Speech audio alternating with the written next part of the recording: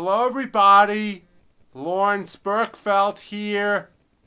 Did you know that the word can't has crippled most people in the network marketing industry and has eventually taken them out?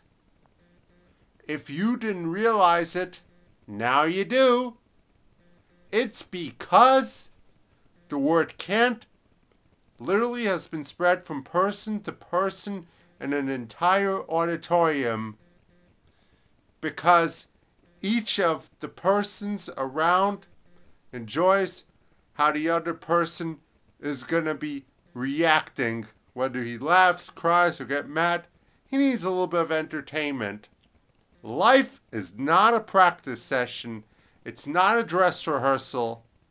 Just learn from the experts today who are targeting highly qualified leads that are already sold in building their business from at home, not friends and family, because friends and family does not duplicate there and it causes people to run for the exit.